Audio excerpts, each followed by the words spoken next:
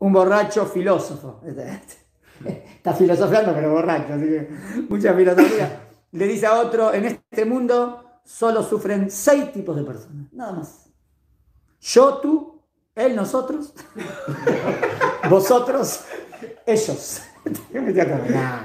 Está bien, borrachín. Eh, un borracho que intenta. No, este malo. Segundo, a ver. Un borracho se cruza con un hombre y le pregunta: ¿Podría decirme cuántos moratones tengo en la frente? O sea, ¿cuántos golpes me di en la frente? Y dice: mmm, Lo mira y dice: Dos. Ah, entonces me faltan tres faroles para llegar a casa. se venía a chocar. Ya, ya sabe cuántos son los que se tiene que chocar. Está bien.